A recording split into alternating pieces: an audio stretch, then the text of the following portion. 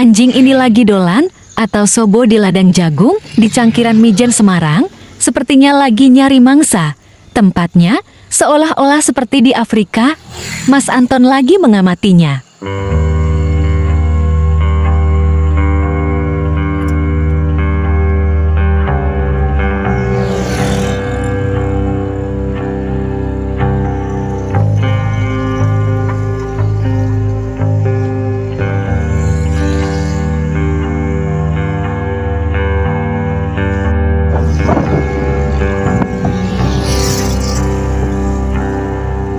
Thank you.